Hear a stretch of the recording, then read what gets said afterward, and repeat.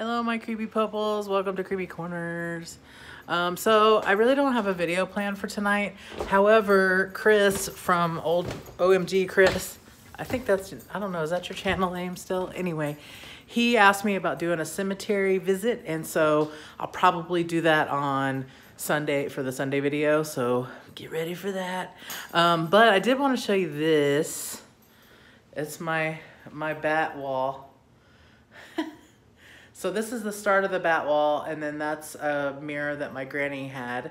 Um, but uh, mom had a really cool idea that I should do like a moon somewhere, and then also a spooky tree. And so what I'm gonna do is I'm gonna get a, um, like a outline, a silhouette of a tree and put a light behind it, and then cast the light here so that I can, you know, um, outline it and then paint it all black and so it'll be spooky tree and then I'll have uh, um, moon probably up there. Anyway, um, unless you guys have any other ideas for that, let me know. I came down here to get my my battery. Um, so here's my my chandelier. Yeah, I said candelabra last time. Um, anyway, I'm just, I've been working and I'm sure my neighbors are um, excited to see that I'm talking to my phone again. and uh, anyway, so that's what I've been doing. I did hang up a couple of other things, like I really love her. I don't know if you can actually see her. And Haunted House, of course. And then these are pieces of art that my husband made for me. And, um, and then I made this I know you can't, I know you can't see it. It's too dark to see it. Sorry. But, um, but yeah. Um, I hope that if you're in the path of the hurricane that you're staying safe and, um, you know, evacuating or whatever you're supposed to do.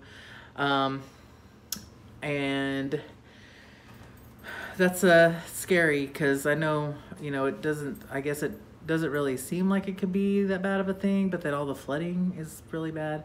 And I also understand that it is Thanksgiving in Canada, so happy Thanksgiving to all my Canadian buddies. Um, or should I say my Canadian poples.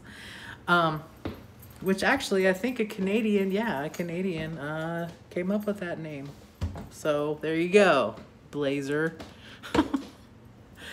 um, What's going on with you? What are you doing for Halloween? It's coming up soon. I'm starting to freak out a little bit because I haven't done anything out in the front yard yet other than um, tie some rope light around the the railing or whatever. Um, I did purchase a one of those lights that has you know movement or whatever and the one that I got has it's red circle with black spiders and a spider web um, but I'm gonna have to go get an extension cord and probably a timer because I don't want to have to go out there and plug it and unplug it and plug it and unplug it every, every day. um, and then my neighborhood, um, there's there some people have their house fully decorated. Um, maybe I'll show you guys some of that um, later this, you know, for maybe next week. Um, and some people have at least started. Some people have just pumpkins right now. And so it's kind of cool to see people. And it's so funny. I'm driving through going to work and I'm looking at people's houses and I see that they have their decorations up and I'm just driving and smiling. Like this is the time of year that I'm just so happy. It's so exciting to see everybody decorating for Halloween and um, I don't know. I just love it. I love seeing people get into the the thing that I do all year, I like seeing them do it once a year because it's makes me happy. Anyway, I think that's gonna be it. Um, sorry I don't have too terribly much to tell you. I've been, like I said, I just been working like crazy. My job just changed, so I've got a lot going on job-wise, and uh, my yard is a swamp, basically. I'll tell you more about that after after October is over. Um, by then maybe it'll just be it'll be a, like an ice skating rink and I'm laughing about it but I think it's probably gonna happen um, so yeah tell me how you are. Tell me what's going on. If you're in one of the states that's affected by the flood, I mean, by the hurricane, let, let us know that you're okay. Um, and have a good day or good night wherever you are. And I will talk to you on Sunday. Bye.